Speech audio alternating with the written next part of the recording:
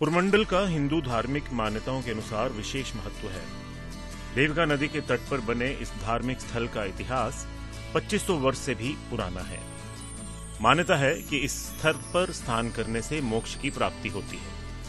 पुरमंडल के मंदिर माँ पार्वती को समर्पित हैं और कुछ भगवान शिव को भी।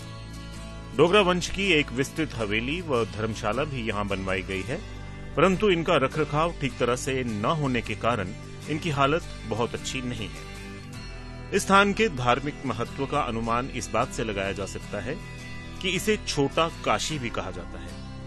हालाँकि सरकार की तरफ़ से इस स्थान के धार्मिक व ऐतिहासिक महत्व को उजागर करने के लिए पर्याप्त प्रयास नहीं किए गए, परंतु फिर भी पर्यटन विभाग शिवरात्रि के अवसर पर यहाँ तीन दिवसीय मेले का आयोजन करता है, जो खासी दिलचस्पी का केंद्र रहता है।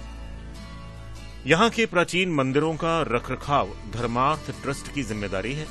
पर श्रद्धालुओं व स्थानीय लोगों का मानना है कि बेहतर रख रखाव व सुविधाओं में बढ़ोतरी करने के लिए अधिक प्रयास करने की आवश्यकता है।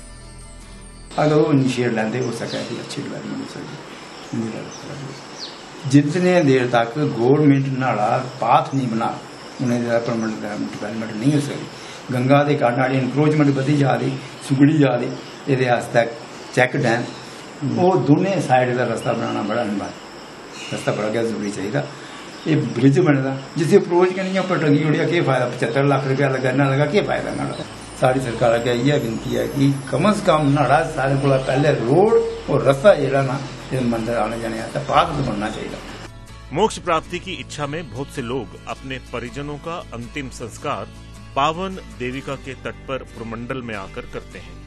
पर क्रियाक्रम के लिए भी आवश्यक सुविधाओं का यहाँ अभाव है।